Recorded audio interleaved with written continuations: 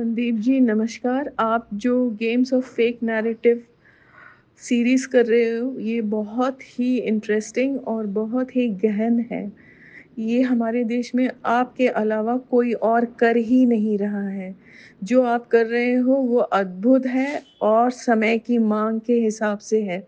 लोग अभी समझ नहीं रहे हैं, पर इसकी जो गूढ़ता है और जो डेप्थ है, वो लोगों को अगर समझ में आए तो वो हैरान हो के सच्चे देशभक्त बनेंगे।